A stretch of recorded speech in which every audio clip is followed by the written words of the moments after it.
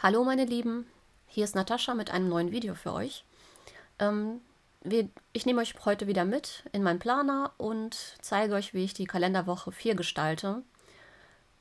Ich war echt überrascht, dass das Video oder, oder das letzte Video vom Planer so viel besser angekommen ist als die Karte. Und ja, es freut mich natürlich. Und deswegen habe ich dann gesagt, okay, das behalte ich erstmal so, so vor, dass ich halt auf jeden Fall die Wochendeko mitdrehe und wenn ich das dann schaffe, auch noch eine Karte dazu oder vielleicht auch mal mehr als zwei Videos. Ich weiß es nicht. Ähm, ich fange wieder an, meine blanko gepunkteten äh, Einlagen zu unterteilen in erstmal sozusagen drei große Kästchen und das letzte Kästchen wird dann halbiert, weil das halt fürs Wochenende steht, Samstag, Sonntag. Meistens mache ich am Sonntag nicht viel oder sitze halt überwiegend hier am Schreibtisch und da brauche ich eigentlich auch nicht viel Platz zum irgendwelche Termine eintragen oder ähnliches. Dafür benutze ich wieder meinen radierba radierbaren Stift den habe ich bei Thalia gekauft und der hat von Anfang an diese lilane Tinte drin. Die habe ich bis jetzt tatsächlich immer noch nicht aufgebraucht, obwohl ich den schon so lange nutze. Und ja, ich habe mich entschieden, dieses Mal mit einer Schablone zu arbeiten. Ähm, viele werden sie wahrscheinlich kennen. Das ist eine von Teddy. Ich meine sogar, dass sie noch im Sortiment ist. Das ist eine Art Spitzdeckchen. Und ich habe mich entschieden, dieses Mal mit meinen Distress Inks ähm, zu arbeiten. Dafür nehme ich meine Blending Brushes. Ich habe für jede Farbe einen Pinsel, das heißt für Blau habe ich einen, das heißt ich benutze Dunkel- und Hellblau mit demselben Pinsel. Den muss ich halt zwischendurch äh, sauber machen, falls ich dann zu krasse Farbenunterschiede habe. Äh, ich habe mich auch entschieden, das Ganze auch mit Lila abzusetzen, weil irgendwie so Türkis oder Blau und Lila sind ja so meine Lieblingsfarben. Und bis jetzt habe ich den ganzen Monat halt in den Farben ge gestaltet. Also hat sich das ganz gut angeboten. Ich habe hier mit einer ähm, magnetischen Unterlage das Ganze fixiert und schiebe mir das halt hin und her, so wie ich das gerade brauche. Die Magnete halten die Schablone fest und die verrutscht dann halt auch nicht so, nicht so schnell. Ähm, das finde ich schon ganz gut. Vor allem das Lineal hat schon ordentlich ähm, Haltkraft. Es gab ein ähnliches ähm, eine ähnlich, ähnliche magnetische Matte direkt äh, auch beim Action. Die habe ich nicht gekauft, weil ich halt schon die von Nellis Nellen hatte. Ähm, ich sehe es nicht ein, nur weil es günstig ist, zwei davon zu kaufen. Das ist absolut unnötig. So, ich habe in der Mitte eine fast komplette und an den Kanten halt immer so ein Stückchen von der Schablone schabloniert. Dann habe ich mich entschieden, mit derselben Stempelfarbe, diesmal halt das hellere Blau und ein bisschen Wasser, Sprenkler zu setzen. Dafür benutze ich halt meine Spritzkiste. Ich, ähm, also es schützt nicht komplett den Schreibtisch, aber es sorgt dafür, dass man halt ein bisschen die ganze, ja, ich sag mal, den Dreck an einer Stelle hat. Ich habe jetzt auch mit dem Lilanen den Rest vom Wasser sozusagen verrührt und auch mit dem Pinsel dann einfach Sprenkler gesetzt. Das hellblau ist wirklich sehr hell und das lilane ist etwas kontrastreicher. Hier habe ich ein Stempelset von Action, habe mir dann ein Fännchen und das Wort Week ausgesucht und aus einem Action-Set sind das die Wochentage. Ähm, es ist leider schade, dass überwiegend die Wochentage in Englisch sind. Ich habe auch, glaube ich, nur ein einziges Stempelset in Deutsch. Alles andere ist Englisch, aber mein Gott, also Wochentage können wir ja wohl noch halbwegs unterscheiden. Und ihr könnt natürlich auch das von Hand schreiben. Ich finde es halt einfacher, dadurch, dass ich die Stempel schon habe, das, äh, die auch zu benutzen. Habe natürlich meine Stempelhilfe rausgeholt. Ähm, habe mich dann entschieden, den erstmal nur Week, Montag, Dienstag, Mittwoch zu stempeln, habe wieder ein Chalk Ink von Action, also Kreidestempelkissen. Die drücken halt nicht so stark durch, die sind nicht so stark pigmentiert. Die bleiben also mehr auf der Oberfläche, was gerade bei diesen dünnen ähm, Blatteinlagen schon vom Vorteil ist. Ich habe diesmal mich für lila entschieden. Äh, habe das Ganze noch ein bisschen wiederholt, weil mir die Tinte teilweise nicht vernünftig abgestempelt war. Ja, wie immer natürlich nach der Benutzung eure Stempel, Stempel sauber machen. Es muss ja nicht viel sein. Es, ich mache auch nur, nur Wasser dran und mit dem Mikrofasertuch wird das Ganze dann halt sauber gerubbelt und getrocknet und natürlich auch so direkt auf die passende ähm, Stempelplatte zurückräumen. Bei den Wochennummern habe ich mich für dasselbe Set entschieden wie auch die letzten drei Wochen. Da wollte ich schon ein bisschen konstant bleiben. Ich habe halt nur die vier gestempelt, auch im selben äh, lila Ton. Auch wieder sauber machen, wegräumen. Wenn ihr das routiniert immer, immer und immer wieder macht, äh, geht es euch dann irgendwann in Fleisch und Blut über. Und ich finde, unsere Sachen sind nicht gerade günstig und wir können die auch vernünftig behandeln. Ähm, hier ist die Flagge aus dem Action Set. Da habe ich dann ein kontrastreiches Blau dazu genommen und habe dann zu jedem Wochentag halt dieses Fännchen gestempelt. Da trage ich dann später die Zahlen ein. Hier unten würde meine Stempelhilfe die Stempelfarbe abbekommen, da ich das halt selber nicht so gerne mag. Kommt ein Schmierzettel drunter. Das hilft euch halt dabei, eure Unterlage sauber zu halten. Weil ein Schmierpapier haben wir, glaube ich, alle da. Das gleiche Verfahren auch auf der rechten Seite, die Wochentage ausrichten und Ganze abstempeln. Mir ist das leider zu spät aufgefallen. Hm, blau. Äh, die linke Seite ist lila, die rechte Seite ist blau. Im Nachhinein, ganz ehrlich, das, es macht keinen großen Unterschied. Also es, man könnte meinen, es war auch so gewollt. War, es eigentlich nicht, aber deswegen erzähle ich euch das. Ich bin da sehr transparent. Ich äh, bin ehrlich zu euch. Ich möchte hier keinen zu irgendwas überzeugen oder irgend, irgendwas euch andrehen. Ich sage immer wieder, benutzt das, was ihr habt. Es gibt inzwischen bestimmt bei jedem irgendwas ähnliches, was er verwenden kann. Und wie gesagt, was ihr nicht habt, druckt euch das aus. Schreibt es von Hand, malt von Hand. Es ist ja nicht notwendig. Ich sage nur, ich, ich habe das da und benutze das einfach. Das ist jetzt auch mein Ziel für 2024, so viele Material wie möglich auch tatsächlich zu verwenden. Hier habe ich meine Tischlampe eingeschaltet, weil irgendwie fand ich, das war gestern ein bisschen sehr duster bei uns. Und die, die ähm, Deckenlampe von mir hat das irgendwie nicht so vernünftig ausgeleuchtet. Ist, ja, man, bei sonnigen Tagen ist das absolut gar kein Problem oder vormittags am Aufnehmen, aber wenn man halt so düstere Tage manchmal hat, ist das schwierig. So, nachdem ich mit dem äh, Fännchen durch war, habe ich auch den Stempel natürlich sauber gemacht, weggeräumt. Habe dann ein paar alte Schätze, da sind diese ganz gelben Stempel von mir links ähm, rausgekramt. Dann ein etwas neueres Motiv.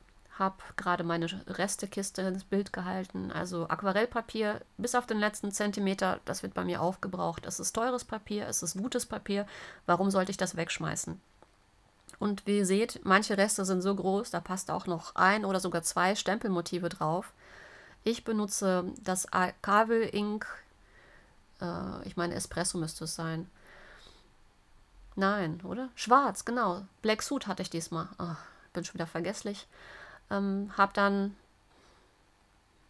den, also die, die Handschuhe zweimal abgestempelt also das Ergebnis ist nicht komplett hundertprozentig sauber. Das ist ein, ich sag mal, relativ ausgefülltes Motiv. Eine Art, ja, wie sag ich, wie sagt man das, mit Schattierungen und so weiter. Und auf Aquarellpapier, was nun mal strukturiertes Papier, kriegt ihr halt keinen so vernünftig sauberen Abdruck hin, beziehungsweise da müsst ihr sehr viel Geduld mitbringen und sehr viel Kraft und ich sehe es nicht ein. Also es, für mich hat das ausgereicht. Zum Beispiel hat der Pinguin viel besser äh, abgestempelt, dadurch, dass er quasi größere Fläche hat. Zumindest der Pinguin selber, diese, sage ich mal, schwarze Fläche, die ist äh, viel besser. Und äh, ja, lange Rede, kurzer Sinn, ich habe es abgestempelt. habe dann äh, meine Distress Inca Palette rausgeholt, meinen Wassertankpinsel und ihr seht, ich habe auch schon meinen Acrylblock zur Seite. da habe ich noch die Reste vom letzten Mal. Und ich habe noch ein Taschentuch da an der Seite, wo ich meinen Pinsel halt zwischendurch sauber mache. Ich habe mit rosa angefangen, habe halt die Wangen, die man quasi auch im Winter, ich glaube, wir haben alle rote Wangen, wenn wir rausgehen und frieren. Und ich finde das ganz niedlich. Ich mag das bei vor allem süßen Motiven. Und ich finde, dieser Pinguin, der ist einfach total knuffig. Ich habe mich total verliebt. Ich hatte ihn äh, letztes Jahr bestellt und ich hatte den hier und auch für meine Freundinnen, meine Bastelfreundinnen, die kriegen immer Adventskalender von mir, selbst gebastelte. Und da war halt auch dieser Pinguin dabei. Und ich konnte es nicht abwarten, habe dann auch direkt Weihnachtskarten damit gebastelt. Ich habe gedacht, ja, darauf warten, dass die Mädels das auspacken und dann erst im nächsten Jahr das benutzen? Nee. Ähm, ja, da hatte ich dann den Pinguin tatsächlich auch schwarz embossed. Das könnt ihr ja natürlich auch mit allen Stempeln machen. Hier habe ich ja direkt mit dem Alcavel Ink eine nicht auf Wasser basierende Tinte gestempelt, weil das halt sehr wichtig ist. Stempelkissen und das Medium, womit ihr dann hinterher ausmalt, müssen halt kompatibel sein. Ihr könnt hier zum Beispiel, klar, ihr könnt auch mit Memento stempeln, aber es kann durchaus passieren, dass euch das Memento halt ein bisschen verläuft, wenn ihr dann mit Wasser rangeht, weil Memento auf Wasserbasis ist. Ist total genial für Alkoholmarker, weil Alkohol löst kein Wasser an. Ne? Das ist halt dann, aber dadurch, dass ich überwiegend tatsächlich mit Aquarell oder wie hier mit Distressfarben, was eigentlich in dem Grunde dasselbe ist, ist ja auch auf Wasserbasis, koloriere oder mit Aquarellstiften. Hin und wieder versuche ich mich tatsächlich auch mal an den Alkohol-Inks, beziehungsweise ähm, ich habe die Twin-Marker von Action. Ich habe schon von vielen gehört, die sollen nicht besonders gut sein. Ganz ehrlich, für das, was ich mache, reicht das aus. Und ich bin ein absoluter Anfänger bei Alkohol-Inks, äh, beziehungsweise Alkoholmarkern. Alkohol-Inks ist schon wieder was anderes. Ähm, ja, und ich habe vor Jahren mit den Distress Reinkern angefangen zu kolorieren und ich war total begeistert, weil ihr braucht quasi nur noch ein bisschen Wasser hinzufügen und könnt dann die Farbe nach eurem Belieben dosieren. Das heißt, wenig Farbe, konzentrierte Farbe, die rauskommt. Macht ihr mehr Wasser dazu, habt ihr dann halt ähm, einen viel helleren Auftrag was natürlich auch jetzt auf Aquarellpapier besonders gut zur Geltung kommt und auch besser sich, ähm, ich sag mal, verblenden lässt oder verwischen lässt oder bewegen lässt, wie auch immer. Das heißt, ihr könnt wirklich wie jetzt hier einfach eine Ecke mit Farbe auftragen und dann mit dem Wassertankpinsel, wo Wasser ja schon mit drin ist, einfach nur noch die Farbe bewegen und verteilen. Natürlich koloriere ich nicht so schnell, wie das jetzt im Bild dargestellt wird, aber ich möchte euch halt auch mit diesen ganzen Videos nicht langweilen. Ich finde es manchmal auch selber anstrengend, wenn ich dann Videos von anderen Content Creatern schaue und da wird halt eine halbe Stunde an einer Karte gebastelt, die normalerweise ja gut, wenn man die Materialien zusammensucht und so weiter und so fort. Aber ich sag mal, für mich wäre es Viertelstunde und eine halbe Stunde dann zuzuschauen und naja, ist nicht meins. Da ist, glaube ich, jeder auch ein bisschen anders. Kommt natürlich auf den Geschmack an. Da möchte ich auch keinen kritisieren. Ähm, ja, ich habe dann meine Schere zur Hand genommen und dann die fertig kolorierten Motive dann auch anschließend von Hand ausgeschnitten. Wie auch immer, sage ich, äh, bewegt das Papier, nicht die Schere. Die Schere haltet ihr eigentlich ziemlich fest das erleichtert euch das Ausschneiden. Ich habe mich hier entschieden, ein bisschen weißen Rand zu lassen, also wirklich hauchdünn. Äh, ich mag das auch nicht, wenn der Rand irgendwie 2 mm ist. Das ist mir schon zu viel. Aber so äh, ist der Übergang zum Papier, äh, das die Unterlage bildet am Ende, weicher. Wenn ihr halt wirklich an der Kante genau ausschneidet, müsst ihr dann wieder die Kanten äh, einfärben. Und das könnt ihr euch halt tatsächlich ersparen, indem ihr eine, einen Rand da lasst. Das hat auch ein bisschen so den Sticker-Effekt. Ich meine, muss man mögen. Ist auch nicht jedermanns Geschmack, das weiß ich auch. Aber ich zeige euch halt die Variante, wie ich das mache. Und ja, ich hatte mich da irgendwie bei der blauen, beim blauen Handschuh fehlt mir da ein Stück von dem Band, aber ich fand das jetzt nicht so drastisch auffällig ich habe das halt einfach dann einfach so gelassen. Ich habe mir überlegt, vielleicht schneide ich das auch auseinander, dass ich das Band gar nicht mit in den Planer ähm, einklebe. Am Ende habe ich tatsächlich so einfach, wie es war, verwendet und ich finde, dass das fast gar nicht auffällt. Die Motive sind jetzt auch wirklich simpel, also es ist kein kein filigranes Ausschneiden, das sind grobe Motive und das geht eigentlich rucki zucki. Jetzt äh, hole ich nochmal meine Stempelhilfe raus. Ich habe mich entschieden, noch ein paar Schneeflocken im Hintergrund zu stempeln. Dafür muss ich erstmal gucken, wie viel Platz habe ich überhaupt. Habe dann erstmal meine Stempel oder gestem gestempelten und ausgemalten Motive draufgelegt, um zu gucken, wie viel Platz ich habe und wo ich die Stempel dann positionieren kann. Zoome auch ein bisschen raus, weil das habe ich übersehen. Und ich stempel mit derselben blauen Farbe wie auch vorher ähm, die Wochentage und die Fähnchen und verteile einfach die Schneeflocken. Ich kann euch tatsächlich nicht sagen, aus welchem Jahr und von welchem Hersteller diese sind. Die haben sich halt wirklich über die Jahre dann vergilbt, verfärbt, was aber dem Stempel, sage ich mal, nicht schlecht tut. Er kann, also ihr könnt es weiterhin gut ver verwenden und es kommt halt aufs Material an. Inzwischen sind die Hersteller auch, sage ich mal, klüger und haben daraus gelernt und die Stempel, ich glaube, das sind noch Silikonstempel. Silikon ist halt anders von der Beschaffenheit als Polymer. Die sind auch, also Polymer ist tatsächlich porös, das heißt, ähm, die verfärben sich zwar auch, aber nicht durch Sonneneinwirkung, sondern einfach äh, durch die Stempelfarbe, die ihr benutzt.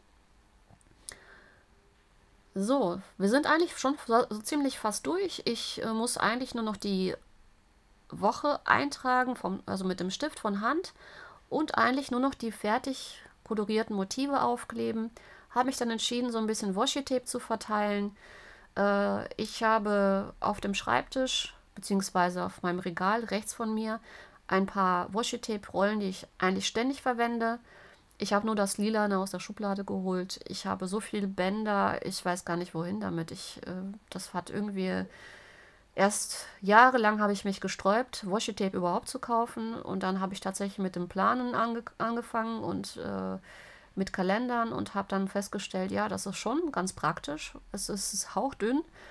Es macht eure Seiten also nicht unbedingt dicker. Äh, wenn ihr zum Beispiel mit Designpapier arbeitet, das macht natürlich schon ein bisschen mehr Gewicht und äh, ja, hinterher ist das Schreiben auf euren beklebten Seiten dann halt auch nicht gerade einfach. Wie immer ähm, benutze ich eine Kombination aus doppelseitigem Klebeband und Flüssigkleber. Das ist wie immer Techie Glue vom Action.